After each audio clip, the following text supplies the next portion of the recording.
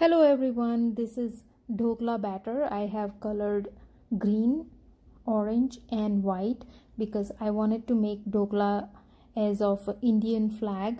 So let's see how it comes out and you can watch complete recipe in my sandwich dhokla recipe how I layer the dhokla and steam it and the end result is looks like this.